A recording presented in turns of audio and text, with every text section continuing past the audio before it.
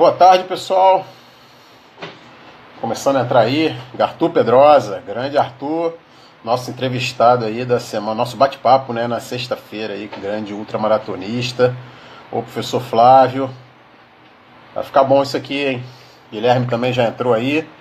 Já vou, já já eu autorizo o Guilherme, Gabriel. Discussão vai ficar boa hoje, hein? Só gente de peso. Cafezinho já tá aqui?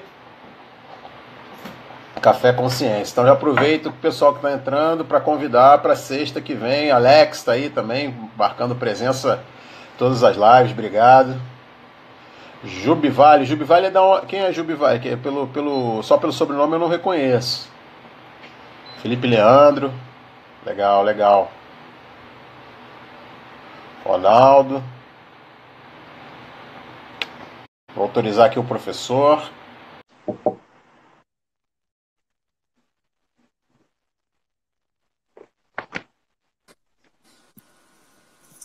Fala, Fabrício. E aí, Guilherme, tudo bem? Tudo bem, e você? Deixa eu pegar. Deixa eu, eu vi você de fone, deixa eu pegar meu fone aqui. Você vê se meu fone está lá na, na, no quadro Luca para mim, por favor.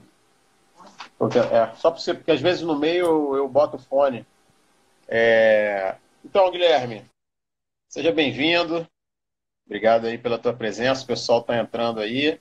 Vamos fazer um teste aí de som, teste de imagem. Dá um, fala algumas palavras aí só para a gente testar o teu som aí. Tá, agradeço aí pelo convite, agradeço pela oportunidade. Obrigado aí pelo pessoal que está assistindo a gente. Estão me ouvindo? Tá tudo certo? O Beleza. Wallace chegou aí. Isso, Wallace. Então, então o, o, o áudio legal. Estou uh, te vendo bem também. Né? Então já, já, entrou, já entrou uma galera aí. E, agradecendo aí agora o professor Wallace, o professor Alex também, ambos lá da pós-graduação, o pessoal da pós-graduação em peso. Tá todo mundo aí em peso. Tem uma galera boa aí também, tem o nosso próximo convidado da sexta-feira, o Arthur, o Alex também, que é nadador, professor também. Então, público bacana aí, o professor Flávio Castro, né? Você conhece lá do, do Sul, né? Sim. Já fez, já fez trabalho com ele, não fez? É, ele foi meu orientador no doutorado, grande pessoa. Ah, Fala, Diego. O pessoal está entrando aí. Então, é... Guilherme, um prazer te receber aqui no Café Consciência. Teu café tá aí já, não? Na verdade, eu não bebo café. Mas a minha água tá aqui, ó. Isso aí, tá certo.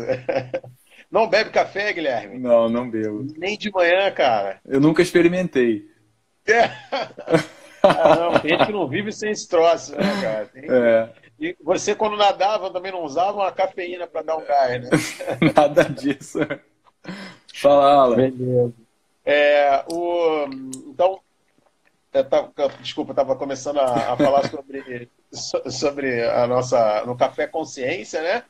É, hoje, hoje acho que a gente vai ter bastante ciência aqui, que às vezes geralmente é um papo, papo mais informal, mas hoje eu acho que você é uma pessoa que, que tem um conteúdo muito grande, uma didática excelente pessoal da pós-graduação gostou muito de você lá na aula, assim, exigiram mais aulas, né? já viu até que eu te convidei para outras aulas agora, Sim. né? Gostaram bastante. Parabéns aí pelo teu trabalho. E hoje nós vamos conversar um pouquinho sobre treinamento em longo prazo, né? Treinamento ao longo dos anos, não é isso? É o Flávio é... me dando moral aí, ó. O que, que ele falou aí? Guilherme nadou para 26 segundos reveza no Japão em 2018 sem café aí. Muito bom. Se tivesse com café, tinha, tinha ido melhor. ou não, né? É, ou não. É, é, é, um papo bom também, né? O efeito da cafeína sobre a performance, né? Boas pessoas para a gente para falar disso. Guilherme, é, se apresenta aí para o pessoal da tua experiência, da tua formação, por favor. Tá. É... Eu sou Guilherme Tuxa, né? Tô vendo aí vários ex-alunos meus. Eu trabalhei com ensino superior aqui em Itaperuna, que é onde eu moro. Trabalhei na Faminas, em Muriaé, vi aí a Michele, vi o Jean, que era aqui de Itaperuna, e trabalhei também no Instituto Federal de Rio Pomba, mas atualmente eu estou na Universidade Federal do Rio de Janeiro. Fiz meu mestrado na Castelo Branco, onde você fez também, né, Fabrício? É, isso aí. Fiz meu doutorado em Portugal, Tive um orientador aqui no Brasil, que eu sou muito grato, que é o Flávio, que está aí acompanhando. A gente tem feito vários trabalhos juntos. É uma pessoa excelente. E tenho trabalhado aí com natação desde a graduação. O meu foco sempre foi na formação. É...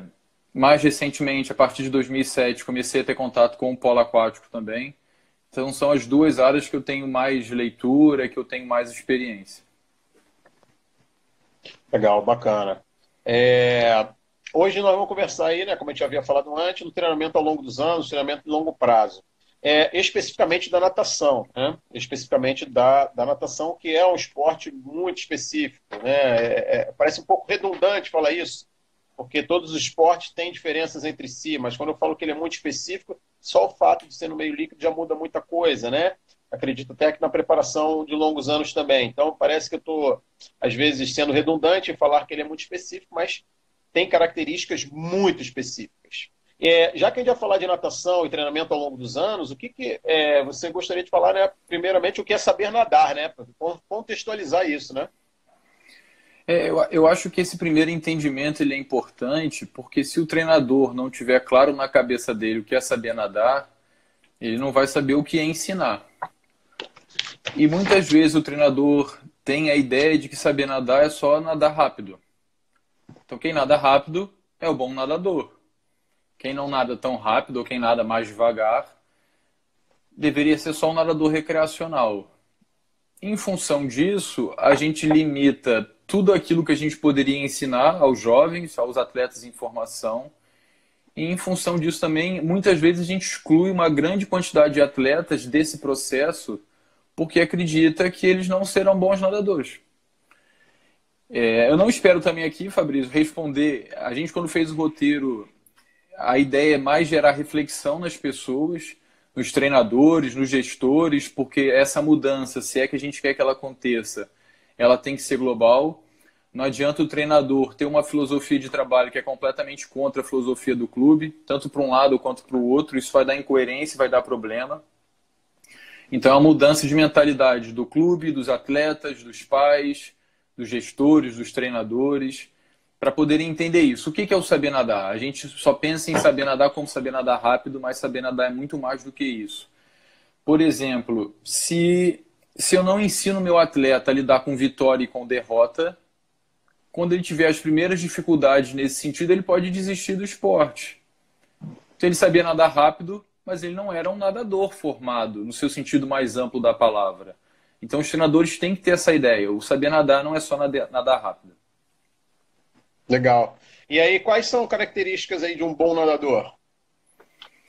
A gente, mais uma vez, pelos nossos preconceitos, entende que o bom nadador é sempre aquele que é o mais alto, que tem os membros superiores, principalmente maiores, né, que é mais longo, que é um indivíduo longilíneo, mas a gente tem que entender que existem diferentes tipos de prova. É lógico que a estatura ela é sempre importante para qualquer esporte, mas que existem diferentes distâncias na natação competitiva. Fala, Rock, hoje estou falando com você, hein? Que existem aí diferentes distâncias competitivas. E se a gente está falando em formação, a gente está com crianças com padrões de crescimento e desenvolvimento completamente diferentes e a gente não sabe o que vai acontecer no futuro. Então pode ser que aquela criança hoje não tenha aquele biotipo que na minha cabeça eu considero como mais adequado para um nadador olímpico, mas pode ser que daqui a alguns anos ele venha a ter. Eu e o Rock fizemos aquele curso de treinadores do COB e eu lembro, não era só natação, tinha as discussões para as modalidades, mas eu lembro que tinha uma treinadora, que não vou falar o nome, lógico, porque não interessa, e ela falou que quando ela olhava para a criança, ela sabia se aquela criança ia ser atleta olímpico ou não. E isso eu geralmente não sou de falar, mas aquilo me incomodou profundamente. E eu falei assim: Mas como é que você sabe disso? Fui até meio grosseiro também. Você tem bola de cristal? Aí ela falou assim: Não é porque você não tem a mesma experiência que eu tenho. Eu olho para a criança e sei se ela vai ser atleta olímpico ou não. Se, se, se esse processo ele é tão óbvio assim, para que, que precisa do treinador? Qual a importância dos gestores, da família? É só olhar e vou dizer: ó, vem para cá que você é, vem para lá, vai para lá porque você não é. E as coisas não são assim. Muito complicado isso, né? Sim. E aí, pensando nisso, ou seja, quais seriam os fatores que influenciam o saber nadar numa criança, né? Ou potencializar isso? O que, que importa? É o estado de maturação, né? Como é que você vê isso aí? É, a idade, idade cronológica, idade biológica. Deu uma travada aí. Guarda voltou? Opa, desculpa, deu uma travada, voltou. Fala. Pegou aí o que eu falei? Sim, entendi, entendi. É, eu costumo pensar geralmente em, prime... em, quatro principais pontos que você até comentou, que é a influência da, da idade relativa, da maturação, do crescimento e do desenvolvimento. Resumidamente, qual é a ideia? A gente entender que as crianças em processo de formação, que as crianças elas terão indiferença entre a idade cronológica e a idade biológica. Então a gente pode ter duas crianças da mesma categoria, com a mesma idade cronológica, mas que biologicamente são muito diferentes. Em função disso também, como no esporte individual principalmente, o desenvolvimento das capacidades motoras ele é determinante para o sucesso da modalidade, aquele indivíduo que é um pouquinho mais desenvolvido biologicamente, ele tem a maior chance de ter sucesso. E qual é a consequência disso em longo prazo, Fabrício? Os gestores, as federações vão selecionando aqueles atletas só pelo desempenho e aqueles atletas, então, eles passam a ter mais oportunidades para o próprio crescimento pessoal, para o próprio crescimento como atleta, que no final das contas vão diferenciar muitos atletas. E aqueles atletas que tinham um desenvolvimento, a maturação mais tardia, eles já são excluídos lá desde o início, mesmo que depois eles se tornem maiores, mais fortes, mais técnicos, eles não tiveram aquele mesma experiência, aquele mesmo processo de formação que um outro atleta teve. É lógico que por trás disso tem dinheiro envolvido.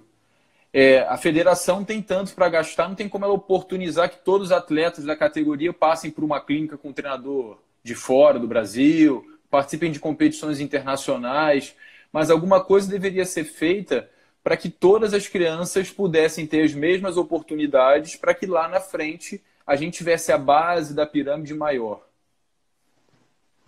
Legal, bacana. Tem gente da Espanha aí. É...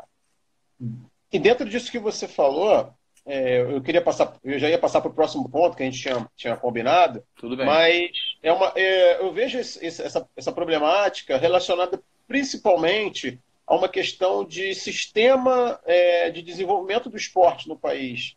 É, pulando um pouco a nossa sequência, é, isso está ligado diretamente à nossa falta de sistema, à nossa falta de sistemática. Nós não temos um, um plano. Você tem aí o, o, o, plano onde as empresas privadas entram em alguns países, outros o governo é um plano de governo, né? outros é uma política de governo.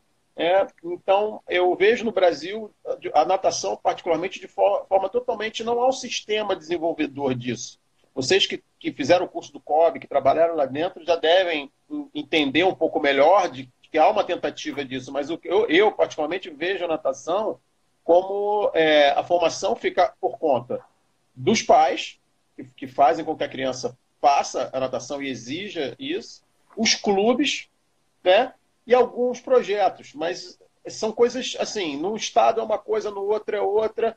É, às vezes o, o, os programas não têm continuidade, eles são, são interrompidos, eles não são interiorizados, né? Que, fala um pouco disso, de repente você já pode emendar ali no que a gente ia conversar, que é tá. que o treinador deveria ensinar a esse nadador para ele saber nadar.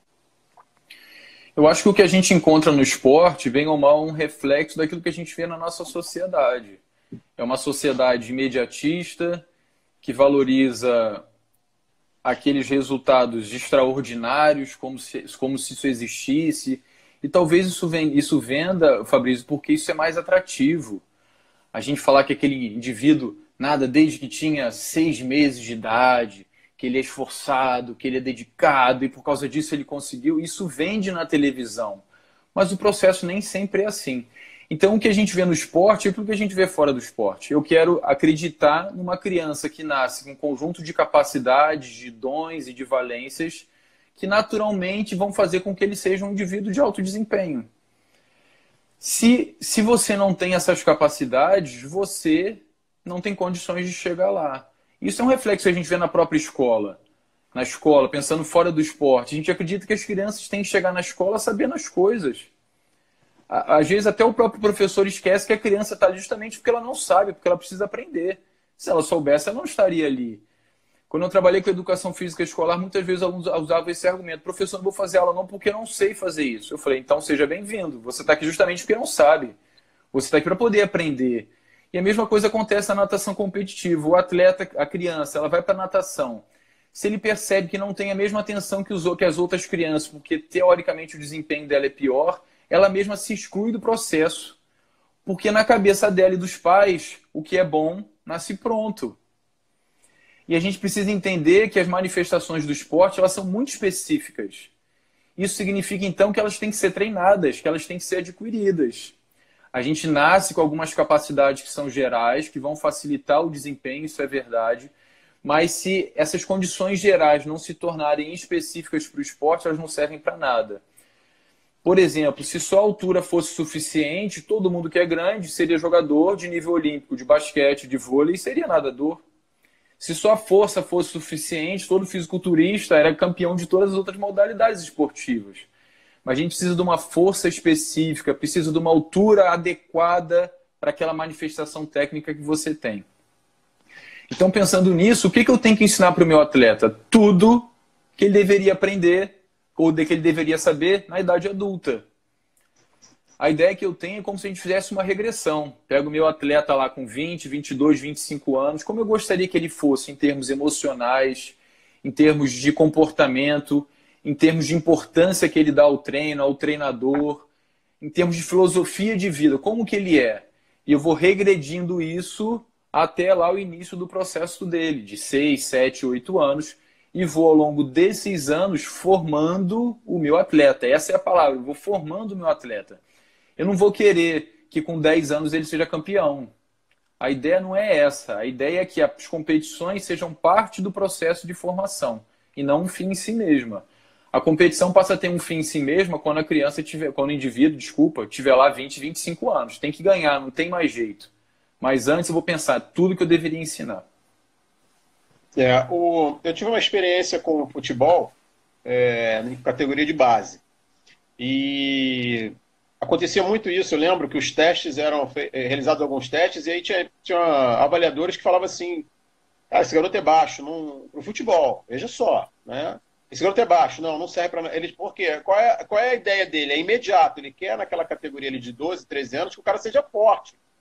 Porque sabe que o físico, nessa idade, pode influenciar mais. Então, é complicado. Então, é bem, bem, bem interessante isso. O Rock falou aí que, às vezes, essa questão do atleta é, é, cobrar o resultado do atleta é, criança, né, ou até adolescente, ele passa pela vaidade do, do treinador. Eu acho que é isso também, mas eu também, o que eu percebo também que é uma pressão ou seja, o treinador lá do, do Petit, treinador lá do infantil, ele tem uma, uma, uma obrigatoriedade de conseguir resultados, até para ele se manter no clube e às vezes até para ele galgar para o juvenil e até chegar lá, quem sabe um dia no head coach.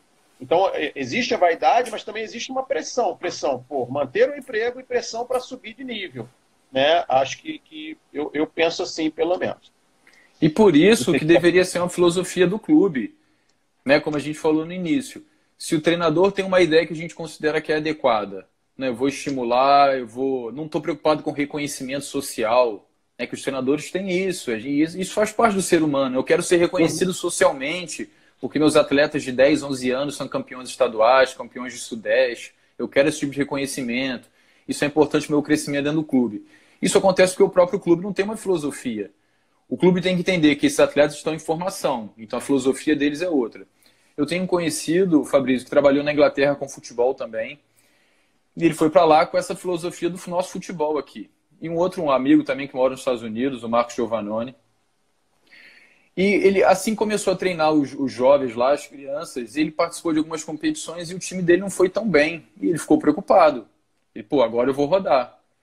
E ele foi chamado para poder conversar lá com os gestores, ele foi todo preocupado, achando que ia ser demitido. Era uma conversa sobre um outro assunto, e ele acabou tocando nesse assunto. E eles falaram assim: não, a gente não está preocupado que você, que você ganhe as competições agora.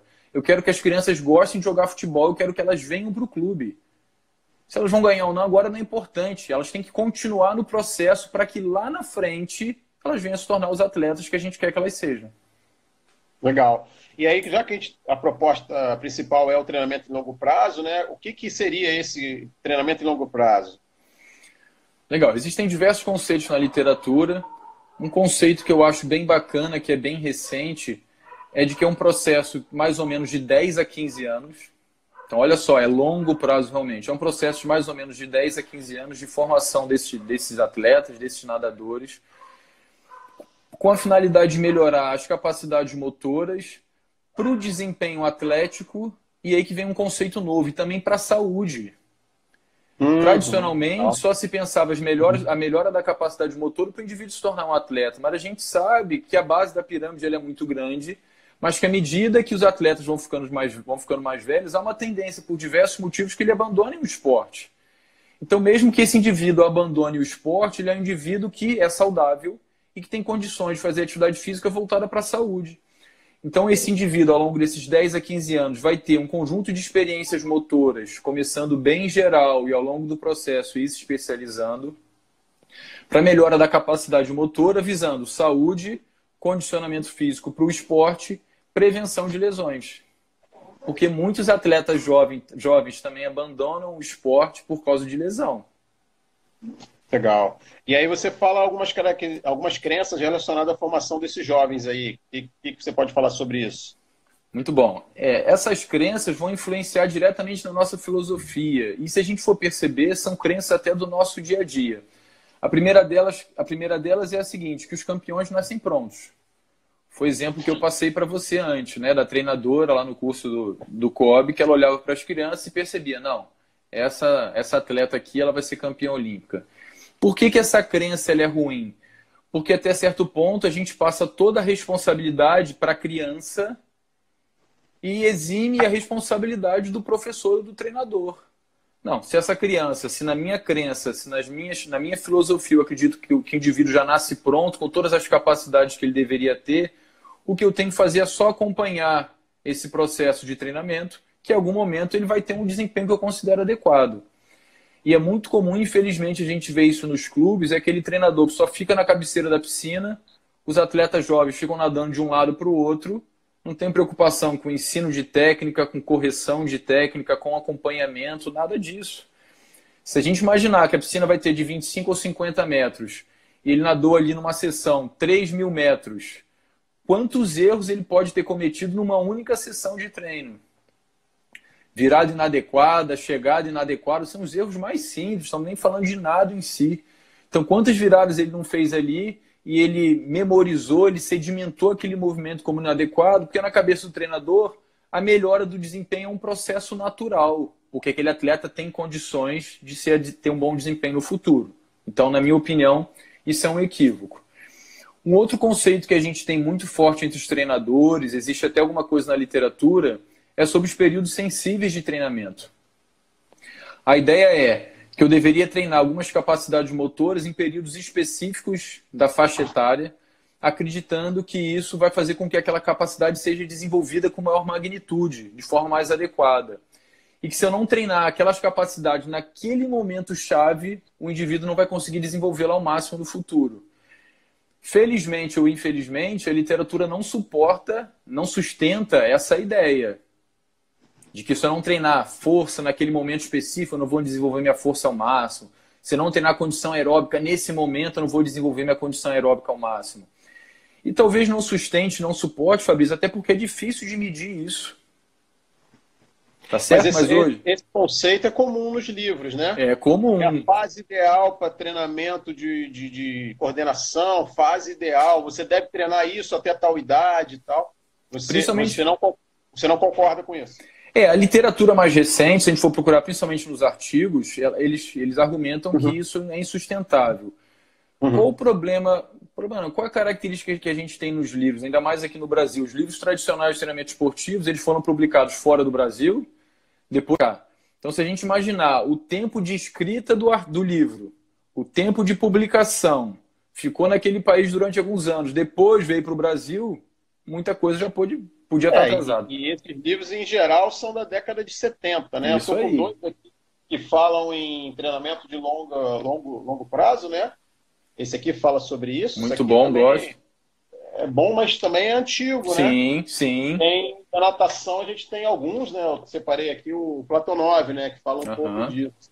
Em cima disso, é, eu queria te perguntar o que, que há de proposta nova aí, né? De, de treinamento em longo prazo, das associações, das federações, dos países, dos autores. O que, que tem aí de, não digo de diferente, mas uma proposta que pense um pouco diferente, talvez. Fabrício, deixa eu antes só falar das duas últimas crenças que os treinadores têm, pode ser? Ah, desculpa, desculpa. Não, tranquilo. Uma outra crença muito comum é o da prática deliberada. É aquele conceito que fala que você precisa de pelo menos 10 anos ou 10 mil horas de treino para poder alcançar o seu desempenho máximo. Muito comum. Muito comum. Tem até um livro do Bernardinho que eu acho que ele fala sobre isso. A importância das, dos 10 anos de treinamento e tudo mais. Da onde veio esse conceito? Esse conceito originalmente veio da música e eles perceberam que aqueles indivíduos que tinham mais tempo de prática na música, eles tinham melhor desempenho do que aqueles indivíduos que tinham menos prática. Até certo ponto, isso é óbvio. Mas se a gente pensar que esse tempo de treino ele pode ter mais ou menos qualidade, a gente perde totalmente o argumento. Porque eu posso ter um indivíduo que treinou cinco anos com muita qualidade em termos técnicos, em termos de experiências esportivas, e um outro que treina há 10 anos com experiências ruins sem correção de técnica, sem participar de competições de forma inadequada, sem estímulos emocionais adequados. Então, isso varia muito de condições para condições. É, então, também não dá para a gente acreditar nisso plenamente. Eu vou entender, lógico, a importância do treinamento no processo de formação, mas eu tenho que entender que esse treinamento ele tem que ter qualidade. Se eu tiver qualidade e tempo de prática, aí o cara é uma potência. Se eu tiver só tempo sem qualidade, não adianta nada. E se eu tiver qualidade, mas eu não tiver feito aquilo por muito tempo, eu ainda estou em processo de formação. E o último critério que a gente tem de muita crença é aquele da genética diferenciada. A gente acredita que vai encontrar um atleta que tem lá um percentual elevado de fibras de contração rápida, que vai ser um excelente velocista, como se a gente fosse limitar toda a complexidade que é o indivíduo a um gene. É, é, é um raciocínio assim muito reducionista. Então não adianta eu ter um, uma estatura adequada, mas se eu não quero treinar. Não adianta eu querer treinar se eu sou mais baixo. Não adianta eu ter uma composição de fibras musculares adequadas se eu não tenho um bom treinador. É tudo muito mais complexo. Não adianta eu querer ser um excelente atleta de hockey se no Brasil não tem aula de hockey. Então, todo, todo esse mix, toda essa mistura que vai fazer com que o atleta tenha um bom desempenho. Então essas crenças elas são muito comuns no esporte e a gente acaba levando isso como filosofia de vida, a gente transfere isso para os nossos atletas também. Legal. E aí voltando lá na pergunta, então a gente tem você tem alguns questionamentos em relação aos modelos tradicionais e o que seria então essa proposta de algumas associações ou de alguns autores o que, você poderia incrementar, né? Não é, não é descartar totalmente esse conhecimento já adquirido, já Sim. utilizado, né? Mas o que, que, tem, que a gente poderia fazer de diferente, né, na tua visão, ou da visão de outros autores, né? Tem, tem uns artigos que trazem essa discussão de forma bem interessante. Tem um que é o do Lloyd, que é um autor inglês, se eu não me engano, que ele traz essa ideia da formação em longo prazo, pensando na possibilidade do indivíduo ser um atleta ou não atleta, e até mesmo, Fabrício, uma coisa que é interessante de haver uma transição entre esses dois momentos. Por quê? Você pode ser um atleta de natação, você tem 13 anos, por exemplo, tem um bom desempenho, mas chegou algum momento, seja lá por quê, você falou assim: não quero mais treinar. Cansei disso. Porque isso é comum no jovem, porque os objetivos de vida ao longo da formação dele vão mudando. Até determinada época da vida dele, o esporte é a razão do viver. O cara não dorme ansioso porque tem treino no dia seguinte, só pensa na competição. Chega um momento que o cara pensa assim: para que isso? Se ele não foi bem informado para entender o porquê daquilo, ele abandona o esporte. No Brasil, o que é muito comum? Ele abandona o esporte competitivo e deixa de fazer qualquer coisa. A ideia do Lloyd é: tudo bem, sai do esporte competitivo, reduz volume e intensidade de treino, mas faça alguma coisa que ainda permita a manutenção das suas capacidades motoras, porque isso também é importante para a sua saúde. E ele defende isso porque tem alguns artigos que mostram que alguns desses jovens depois voltam para aquele esporte ou para outros esportes e conseguem alcançar desempenho de excelência. Se não houvesse essa possibilidade dessa transição de atividade física para a saúde, retorno para o esporte competitivo, a gente perderia esses atletas. Então ele defende que isso não acontece. E, em relação aos períodos sensíveis, ele defende que isso não existe ou que não tem sustentação na literatura Mas ele acredita, então, que, as, que todas as capacidades motores deveriam ser treinadas durante todos, todos os momentos da formação. A diferença é na ênfase. E ele traz uma coisa que é diferente da maioria dos outros artigos, que a ênfase, na opinião dele, ele justifica isso, deveria ser um treinamento de força. Desde cedo. E olha o argumento dele que legal. Se a gente for levar em consideração a realidade das crianças hoje em dia, a maioria das crianças, ou a grande parte das crianças, tem uma tendência de serem obesas. Se a gente for inserir essas crianças no esporte, onde geralmente a ênfase maior é dada na parte aeróbica, dificilmente elas terão um bom desempenho, porque elas são mais pesadas do que as outras. Então isso é uma sobrecarga mais para o sistema dela. Por outro lado, se você dá importância a exercícios de força, possivelmente essas crianças terão um melhor desempenho, porque existe uma relação entre massa corporal e força. E você consegue englobar essas crianças no processo de preparação. E além disso, a melhora da força é importante na prevenção de lesões e na formação do atleta como um todo. Então, acho que essa é a ideia principal dele. Eu oportunizar que a criança e que o jovem faça o esporte, que ele possa transitar para o esporte competitivo e não competitivo, que ele possa retornar a qualquer momento para aquele esporte ou para um outro esporte, e que a ênfase ou que o desenvolvimento da força geral, não a força específica, seja feita desde cedo. Uma outra coisa que ele aponta é que essas crianças que geralmente entram no esporte, elas entram e geralmente se machucam, porque eram destreinadas, porque não eram bem condicionadas, não conhecem o esporte. Então, essa defesa que ele traz vai fazer com que isso não aconteça. Perceba, Fabrício, que isso não é fácil, porque eu teria que oportunizar no meu clube a, a possibilidade deles nadar de forma competitiva dele, transi, dele fazer uma transição para o esporte não competitivo e, e, fazer um mix a hora que ele quiser. Fazer parte de um projeto, não tem. Isso aí. Por isso tem que ser uma filosofia do clube. Ah, não vamos nem pensar num, num projeto do governo, porque é exigir demais. O clube tem que ter uma filosofia que seja sólida e isso seja passada para os treinadores para que o processo aconteça. Senão cada um puxa a corda para um lado, não vai dar certo.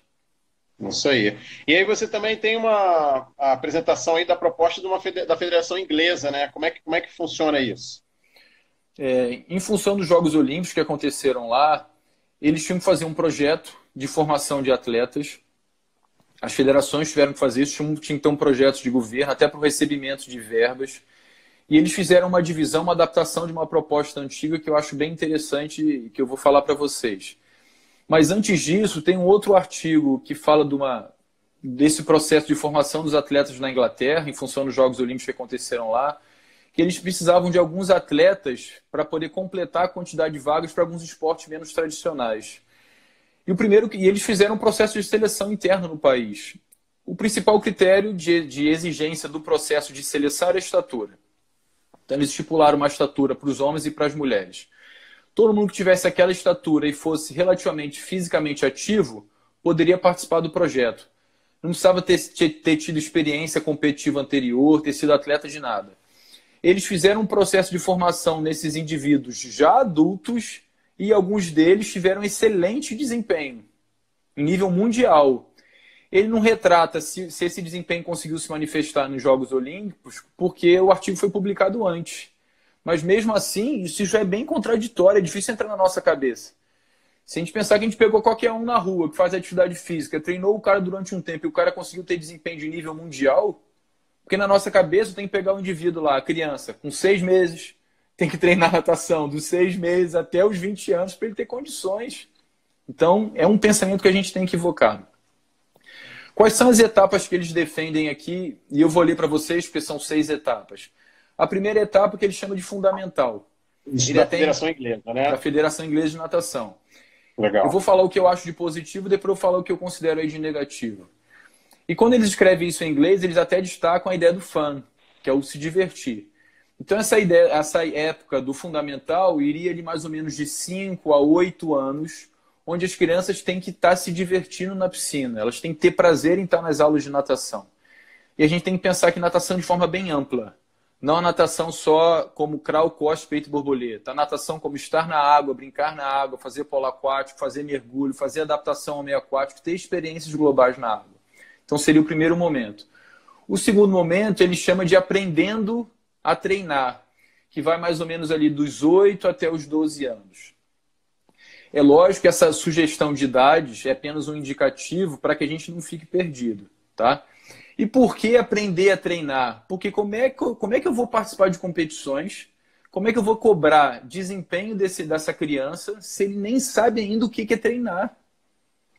Eu tenho que aprender a treinar para depois que a próxima etapa eu treinar para treinar. Então olha que legal. A criança está na, na, aula de natação, está na piscina, ela se diverte, ela tem prazer por aquilo. Tudo bem. Depois eu tenho que, de alguma maneira, fazer o esporte de forma sistematizada. Isso é óbvio. O desempenho ele é específico. A gente precisa de estímulos específicos. Eu vou aumentar um pouquinho os estímulos específicos, mas eu continuo tendo estímulos gerais. Eu vou aprender a treinar, vou aprender o que é ser um atleta, a importância. São coisas que nem são, são relacionadas à piscina. Aprender a ter compromisso, empreender a importância do treinamento, saber, saber me organizar para poder participar das sessões de treinamento, saber entender o treinador, questionar o treinador, conversar com o treinador, me sentir corresponsável pelo processo. Eu não posso pensar assim, eu só vou melhorar se o meu treinador for bom. Eu vou melhorar se o meu treinador for bom, mas se eu fizer o treino tem que ser feito. Eu tenho que entender sobre aquilo que eu faço, eu tenho que entender o que é o treinamento. Eu tenho que entender o que é os nados, como é que se produz força dentro da água. Eu não posso só mandar meu atleta rodar o braço e pronto. Depois, na, na etapa lá, que é a terceira, do treinando para treinar, ele já aumenta mais ainda as condições específicas e eu estou treinando para poder realmente melhorar o desempenho. Não estou preocupado com competição, estou treinando para treinar. Por que não me preocupar com competição, Fabrício? Porque se eu me preocupo com competição, eu deixo de dar importância ao treino, estou muito preocupado em, me, em descansar o atleta para que ele participe de competições, e essa não é a filosofia, não é o objetivo dessa época. Eu tenho que treinar para melhorar a minha formação como atleta. Só depois disso que eu vou treinar para competir. A época do treinar para competir seria ali por volta dos 15 aos 18 anos. Então, olha só, a gente está terminando a adolescência, o indivíduo está quase um adulto.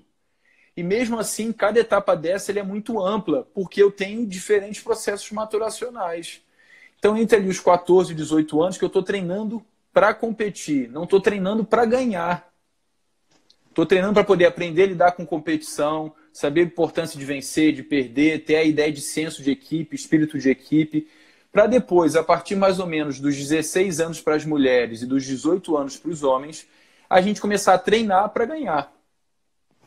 Em tese, quem chegar nessa época entende todo o processo de treinamento, entende a importância dele, a importância da família, a importância do treinador, ele tem mais responsabilidade sobre aquilo que ele faz, já decidiu ou não a importância que o esporte tem na vida dele e ele pode seguir uma carreira de forma mais adequada. E só depois disso, quando tiver que acontecer, que seria a aposentadoria. Então perceba realmente que é um processo em longo prazo, com filosofias específicas para cada momento. O atleta está sempre treinando, ele está sempre na piscina, mas a filosofia de cada uma delas é diferente. Qual seria a crítica que eu faço a essa proposta? Fala, Emerson, um grande abraço aí. Qual é a minha crítica a essa proposta, Fabrício? Eles estipulam volumes de treinos semanais, frequência de treinos semanais para cada um desses momentos. E essa é a crítica uhum. que o artigo faz também. Por que essa crítica? Porque a gente acabou de falar que as crianças são diferentes. É lógico que essa sugestão ela, ela faz os nossos olhos brilharem porque a gente tem um guia.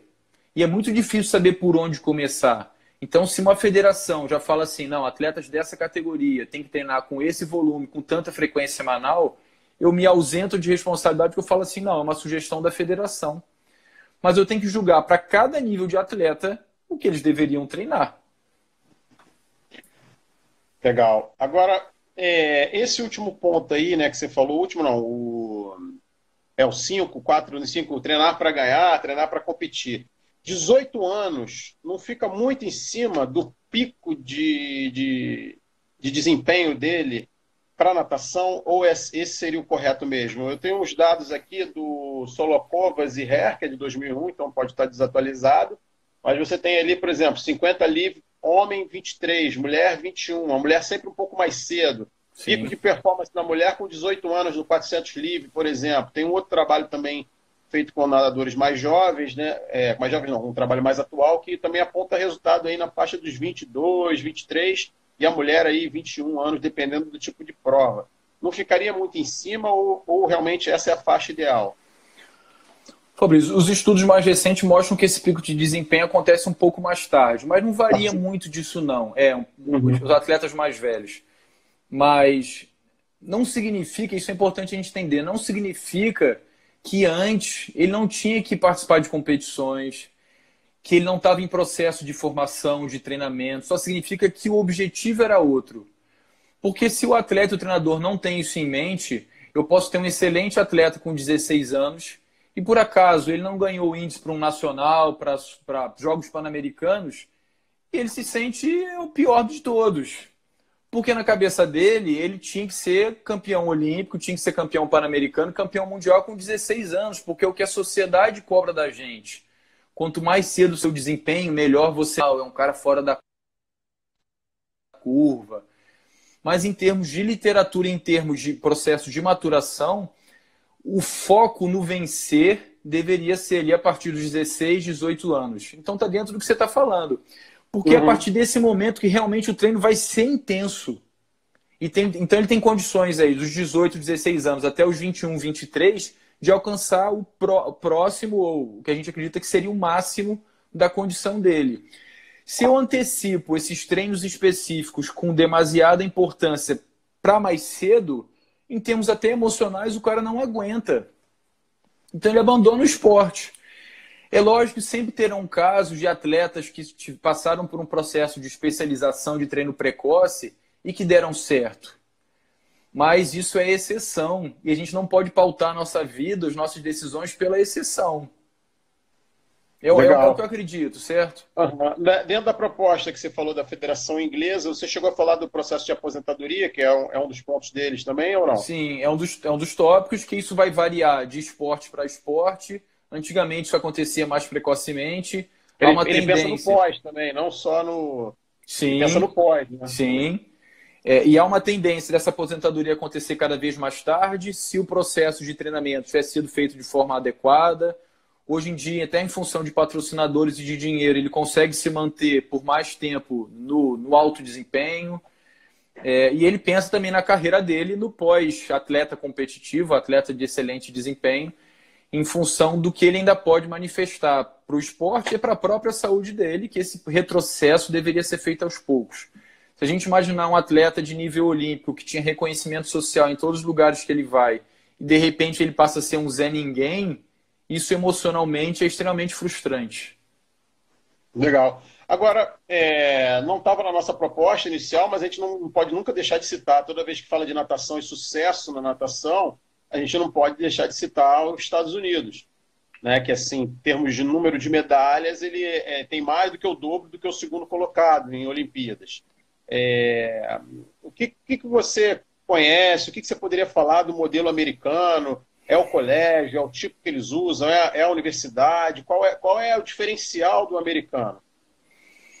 Fabrício, eu nunca eu não tenho contato direto com a natação americana, nunca fui nos Estados Unidos, mas as minhas leituras, tanto da parte de artigos e as conversas que eu tenho com outros colegas, é que o ambiente social ele é tão marcante, ele valoriza tanto o desempenho atlético que isso faz com que o indivíduo dê o sangue, né, dê a vida por aquilo.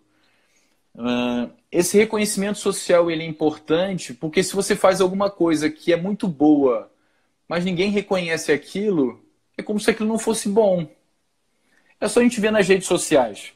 As pessoas postam um montão de coisas que muitas vezes não são verdade para dizerem que elas têm capacidades extraordinárias, porque isso dá reconhecimento social. Agora imagine isso com as crianças, imagine como é que um pai se sente quando o filho tem um determinado desempenho, que ele tem reconhecimento social. Eu não estou querendo dizer que a gente tem que ignorar isso, mas todo o sistema que eu acredito que, que tenha, que existe nos Estados Unidos, faz com que ele valorize o esporte, porque ele vai ter mais um acesso mais facilitado à faculdade, à universidade, ele tem reconhecimento social, ele mesmo que ele participe só das competições universitárias, ele tem reconhecimento social por isso, o nível de desempenho é muito grande, e isso infelizmente não acontece no Brasil. A gente chega ali o atleta de 16, 18 anos, que seria o momento dele começar a treinar teoricamente, de verdade, ele abandona o esporte porque ele tem a universidade, tem final do ensino médio, então acaba sendo um contrassenso.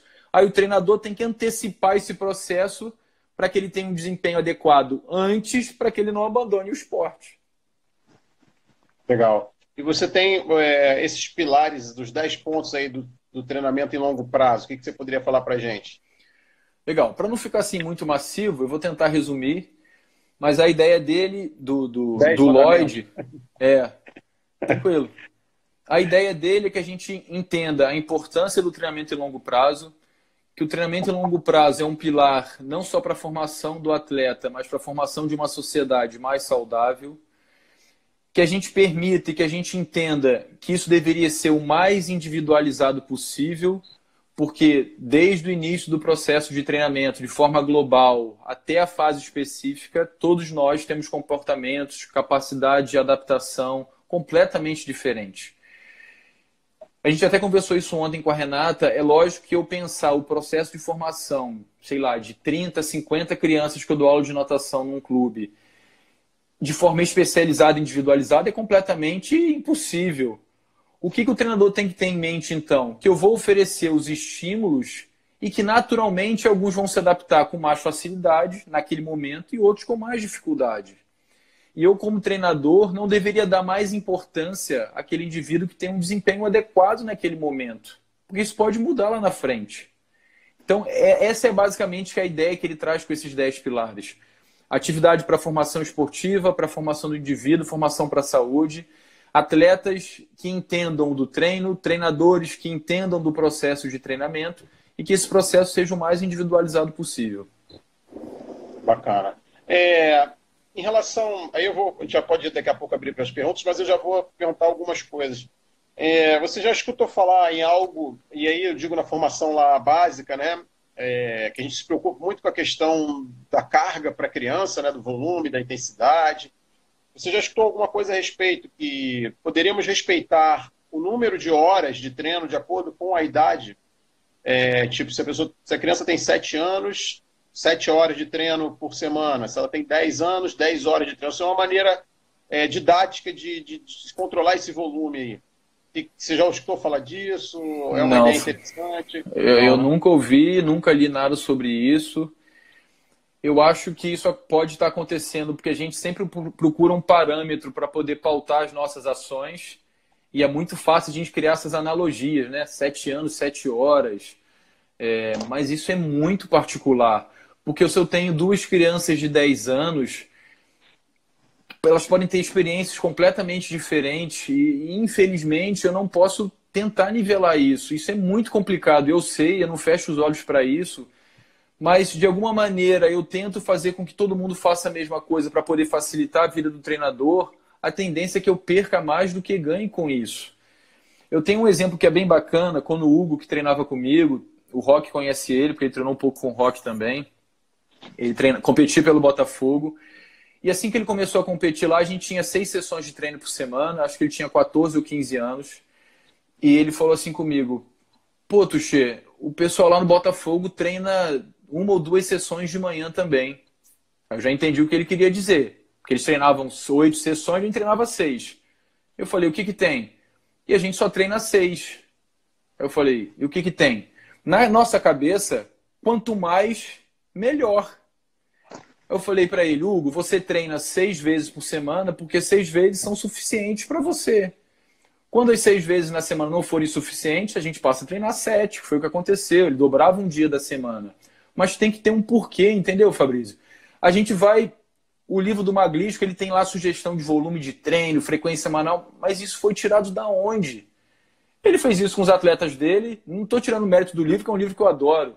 Mas são sugestões muito grosseiras e que a gente deveria entender que isso tudo são apenas sugestões, não é uma regra rígida, é uma sugestão. Poderia ser até uma meta.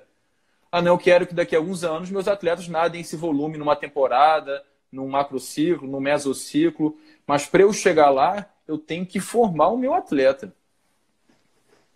Legal, bacana. É, algumas pessoas perguntaram aí se você tem como disponibilizar o, o estudo do, do Lloyd aí. Disponibilizo. Tá, aí depois entra em contato contigo pelo Pode pelo, ser, perfeito. Mensagem, tá, beleza. É... Eu vou abrir para perguntas, pessoal. Então, quem quiser já ir começando a fazer as perguntas. O Rodolfo falou, ficou uma sugestão de live para os professores aqui da natação americana. É, o Chico aí, beleza, Chico. É. é. isso mesmo, é isso mesmo. É o que eu acredito. A gente tem a ideia da teoria. Uhum. Muitas vezes as pessoas criticam a teoria. Ah, a teoria não serve para nada. Não, a teoria é a base para você saber por onde começar. O, o pulo do gato é você saber utilizar aquela teoria de forma adequada e não usar aquilo de forma engessada para todo mundo. Eu preciso conhecer a minha realidade, a filosofia do meu clube, tudo isso eu preciso conhecer. É.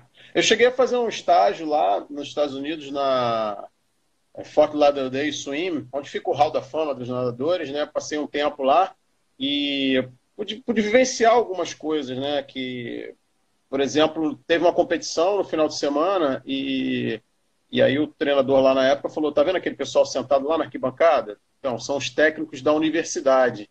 Quer dizer, então esse no colégio já a questão já é muito forte, né? Eu sempre no, passado, antes de fazer educação física, sempre escutei: ah, a base do esporte americano é a universidade, tá? Mas na verdade a formação vem lá de lá de trás.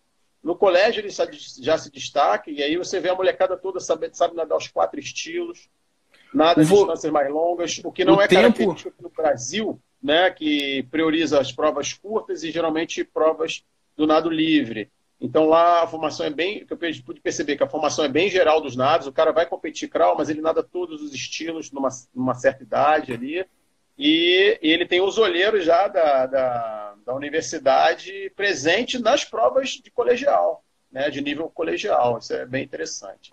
Você falou e me lembrou até uma coisa que acontecia comigo, às vezes os, os atletas que a gente conduzia aqui falavam assim, Poxa, mas eu tenho melhor desempenho nessa prova, por que, que eu tenho que nadar as outras? Porque você está em processo de formação, você precisa saber nadar tudo. Isso. Não, não tem jeito, você está em processo. Você agora nada muito bem essa prova, mas eu não sei como é que vai ser daqui a seis, oito anos. Então você precisa ter uma experiência global. E outra coisa que a gente fazia ao longo do processo, nas competições de menor importância, ele competia tudo. Na competição uhum. lá mais importante, a gente limitava a quantidade de provas. É lógico, todo mundo quer ganhar, todo mundo tem, tem que ter essa sensação. Só ele desiste também. Mas não era o tempo inteiro um cara de 12 anos focado no 50 livre, não dá. O Gabriel pergunta aí, o que, na, o que a literatura tem sobre a importância dos treinos fora da piscina para os atletas? Você poderia falar disso aí, Guilherme?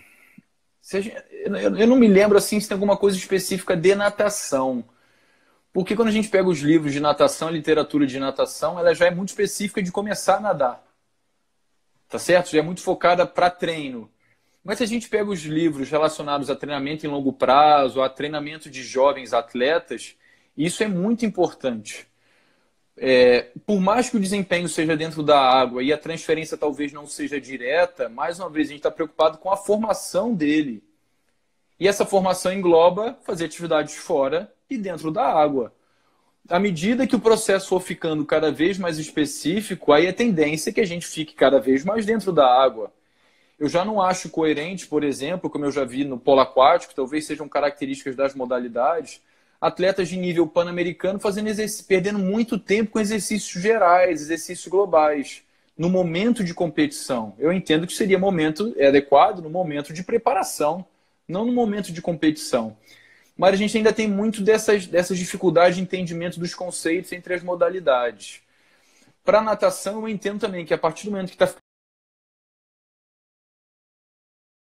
cada vez mais específico, que o atleta está se tornando um atleta adulto.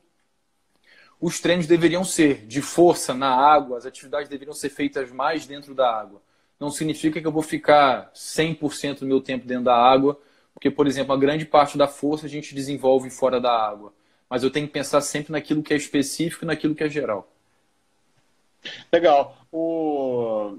É, é, acho que a pergunta dele acabou. Você respondeu dentro, fechando dentro do assunto, mas acho que ele quis saber até sobre eh, os adultos tal. Eu, eu, sou, muito, eu sou muito fã do, do, do treino de força para tentar trazer alguma coisa de transferência aí para água no adulto, principalmente. Agora, o, o, ele pergunta aqui, o professor Alain pergunta qual a sua posição sobre o desporto escolar brasileiro, Tuxa.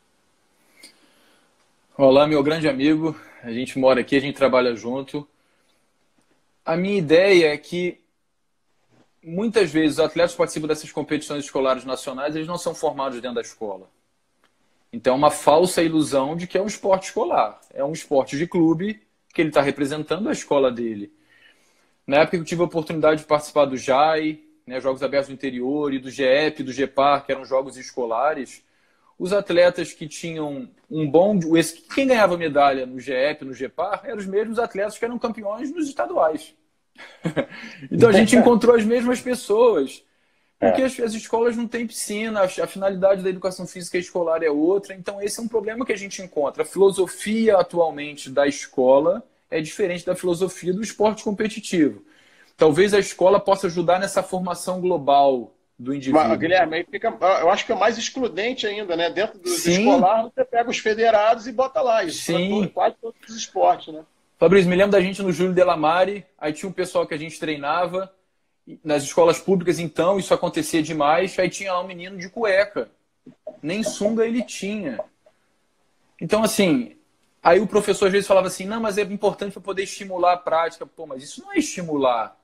Isso é humilhar. O cara que faz 24 segundos com o cara Entendeu? que faz um minuto. E, é, e nadando de cueca, ele mergulha, a cueca sai, ele tem que puxar a cueca. Isso não é estímulo.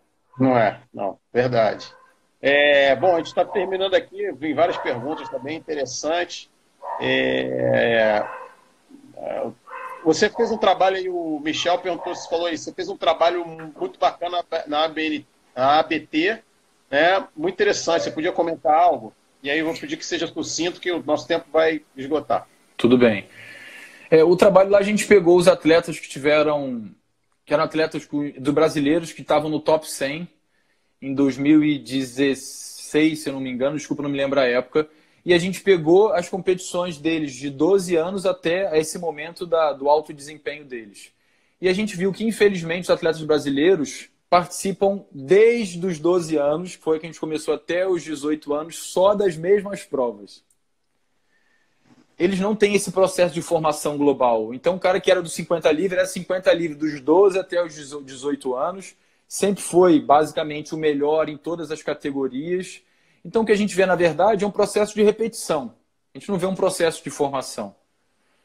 E o estudo é basicamente isso. Quando a gente pega a natação americana e o esporte americano de uma maneira geral, a gente vê que os atletas, no processo de formação, participam de vários esportes, de várias distâncias competitivas e depois que eles vão se especializando. Isso é uma ideia geral. Legal, bacana. Bom, quero agradecer aqui, Guilherme, espetacular a live. A, sua didática realmente é espetacular, é, é muito elogiada pelos alunos. Quisera eu ter um desempenho assim. O Gabriel perguntou aí se vale a pena alongar antes da própria natação. O Gabriel é aquele, é, é meu colega de laboratório lá. Sei quem é, ué. Ele, ele, faz as perguntas que ele já sabe a resposta. Ele trabalha com então, Gabriel, vou, vou recomendar um artigo seu como resposta. Bom, Guilherme faz parte lá do nosso time da pós-graduação em atividades aquáticas aqui no Rio de Janeiro, Rio de Oi, Fora. Quem tiver interesse aí em, em, participar também, me procura, né? A gente está com duas turmas para abrir, ia abrir agora, mas devido à pandemia a gente fechou a turma. O Alex aqui, o Wallace são alunos de lá, a Michelle também entrou aqui, bem bacana. Então a gente tem um trabalho bacana lá na pós e o Guilherme faz parte desse grupo aí. Obrigado aí. Quer deixar alguma palavra aí, Guilherme? Eu quero agradecer a participação de todo mundo, isso é importante para a gente. Se vocês tivessem não teria sentido a gente falar para ninguém. O Rock deu um exemplo aí de uma nadadora que era velocista e depois se tornou fundista. Que bom que isso aconteceu, mas a gente entende que isso não é tão comum. Talvez isso tenha acontecido de forma não intencional, né? Agradeço o pessoal aí de Rio Pom, onde eu trabalhei, daqui de Itaperuna, de Muriaé, os alunos da UFRJ, meus amigos professores. E tomara que a gente contribua aí. Valeu, Chico, lá dos Estados Unidos que a gente contribua para a melhora da formação dos nossos nadadores, tá bom? Obrigado. Vou convidar um o Chico para fazer uma live sobre natação americana. Perfeito, perfeito. Valeu, gente. Valeu, um abraço. Pessoal. Vai fechar aqui uma hora. Valeu, um abração. Gente. Valeu. Tchau, tchau, tchau, Michele.